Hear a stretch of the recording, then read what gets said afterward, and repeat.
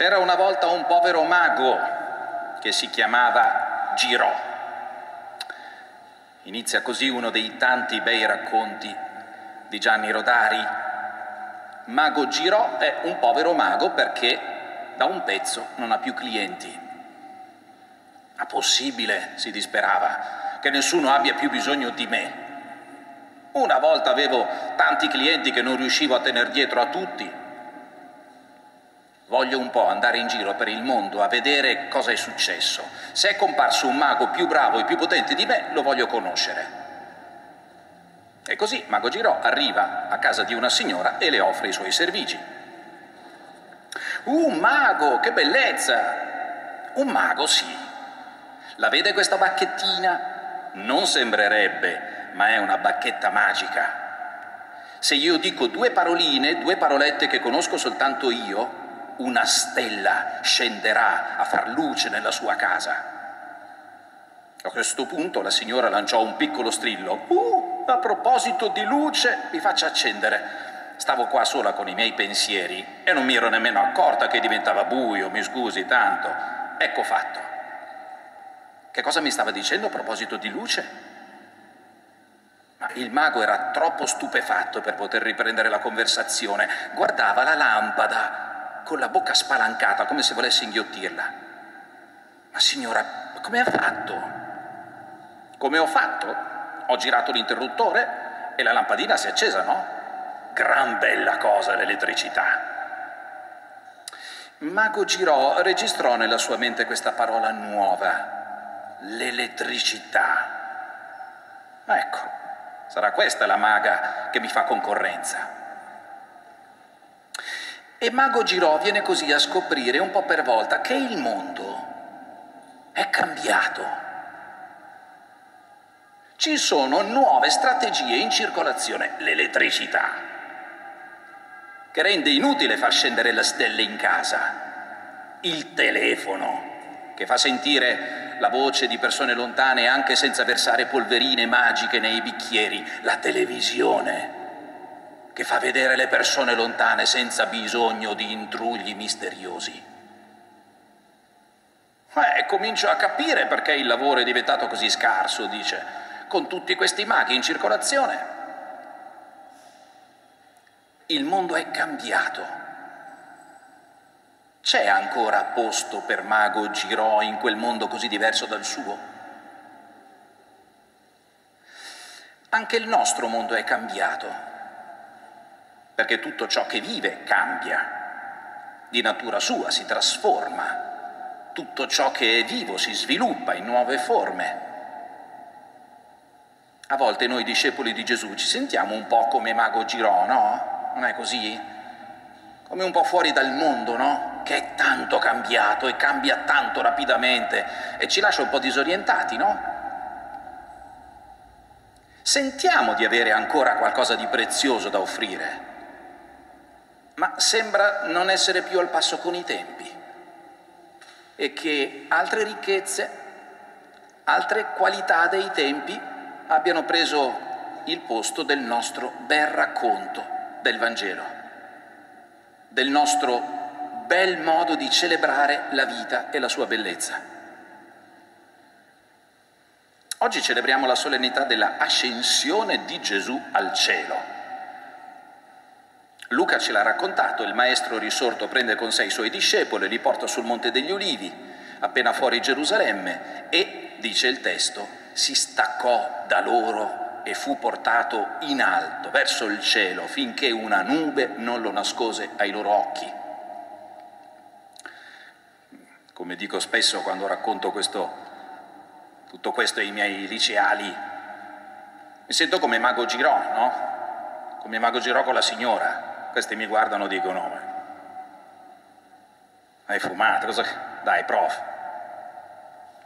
Capisco che, ho davanti, capisco che chi ho davanti sta già parlando un linguaggio diverso, perché il mondo è cambiato naturalmente rispetto a quando questa pagina è stata scritta. Come abbiamo detto altre volte, l'immagine del cielo è un'immagine straordinaria che ci parla da sempre ma il cielo del primo secolo, il cielo di Luca, che ha scritto questa pagina, non è il cielo nostro, il suo modo di leggere il cielo non è il nostro. Per Luca il cielo è ciò che è irraggiungibile, ciò che è indisponibile all'uomo, è la dimensione divina è la dimensione oltre.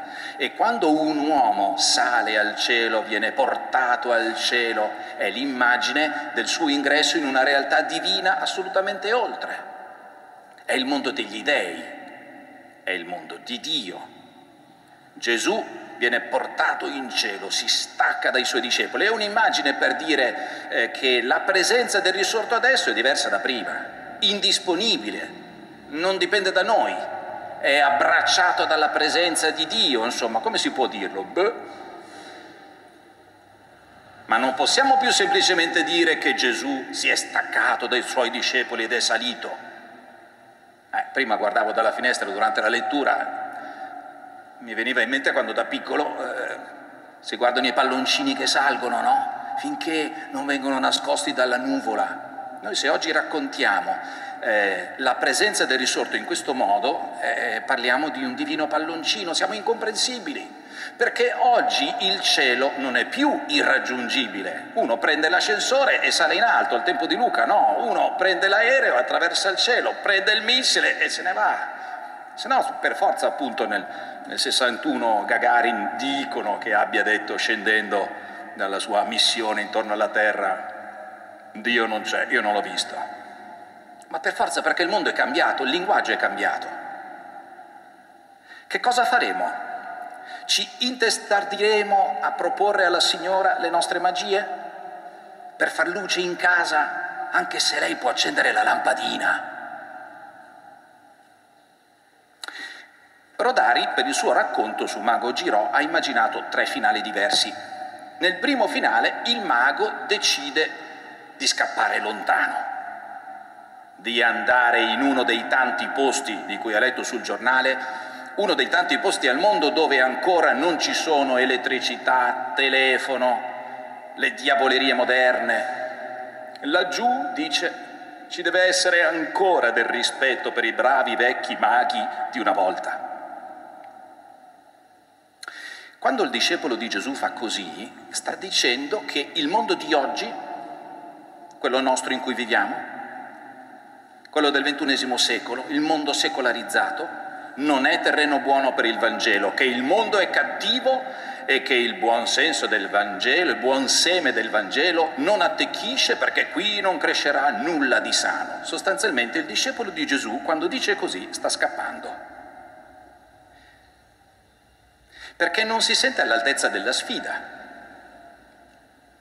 e ne incolpa la cattiveria dei tempi moderni e in questo modo manca al suo compito. Nel secondo finale Mago Girò diventa un imprenditore, affitta un grande locale, si mette a vendere apparecchi elettrodomestici, anche a rate, e in breve diventa un ricco negoziante. Si comprò l'automobile, dice Rodari, una villetta sul lago Maggiore, una barca a vela e la domenica andava a spasso sul lago. Quando il discepolo di Gesù fa così, si sta arrendendo, cerca potere, comodità, si siede nel molle del mondo, diventa mondano, dice il Papa continuamente, non ha più niente di significativo da dire, non parla più con il fuoco nelle parole, non accende l'immaginazione di chi lo ascolta. Quando il discepolo di Gesù fa così, non suscita nostalgie di un futuro più umano, perché è aperto al cielo che ogni uomo già porta in sé. Quando fa così, il discepolo di Gesù è diventato un profeta muto. È come sale senza sapore, dice Gesù in un passo del Vangelo. È diventato una creatura inutile e assurda. Ma Rodari diceva che lui preferiva il terzo finale, che ci regaliamo.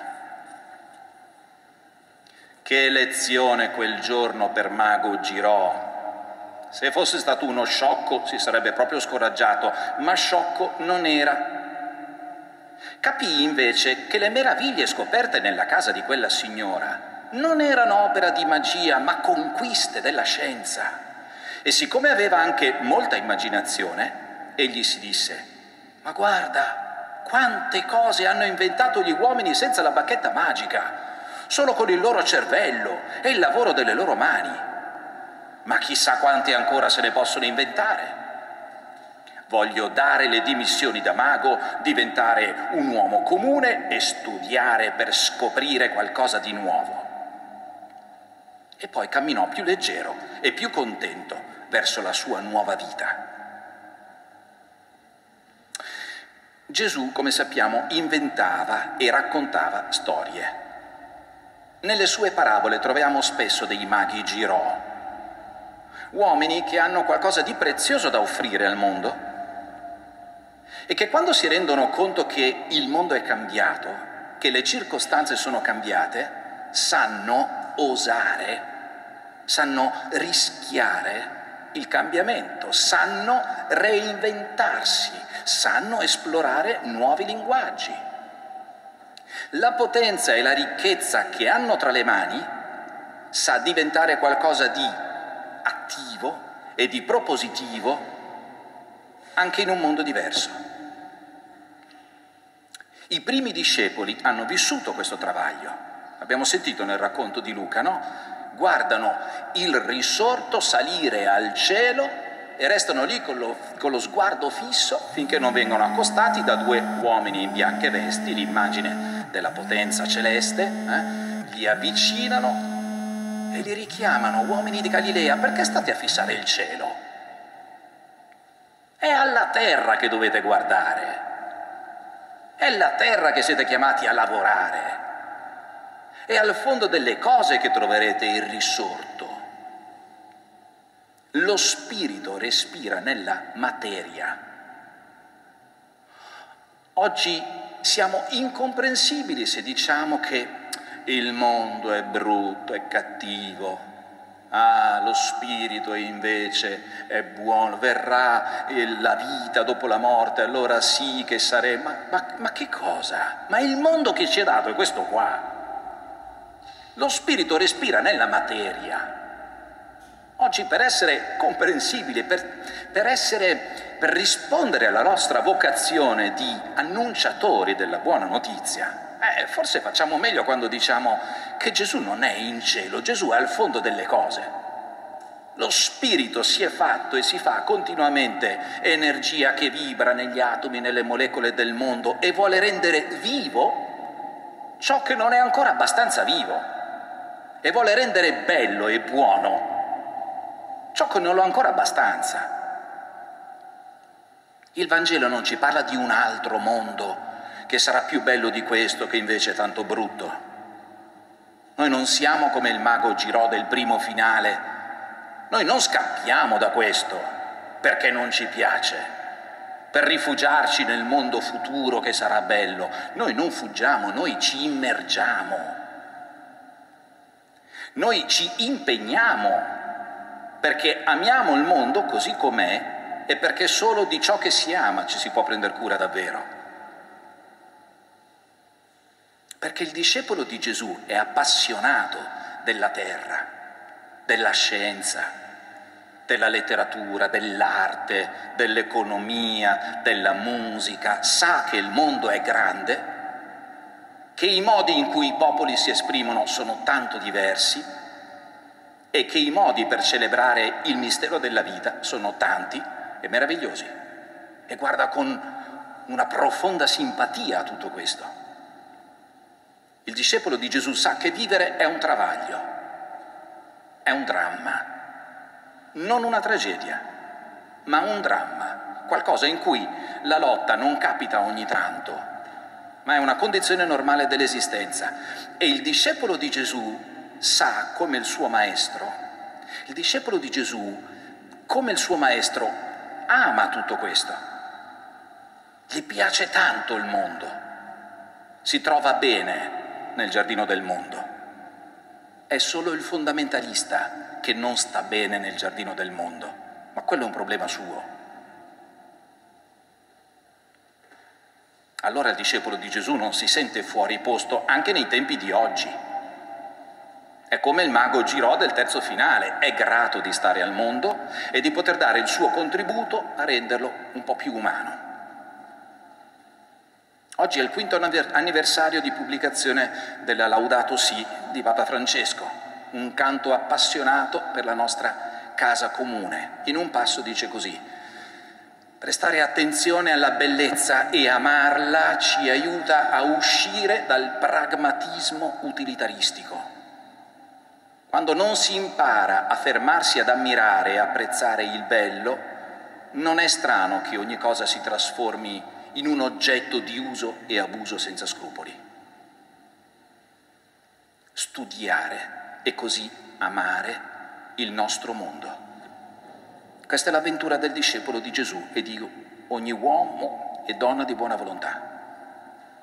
Lo Spirito del Signore ci accompagni.